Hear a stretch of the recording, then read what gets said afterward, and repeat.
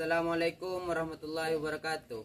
Kami segenap keluarga besar Singoleter 74 mengucapkan Selamat menunaikan ibadah puasa.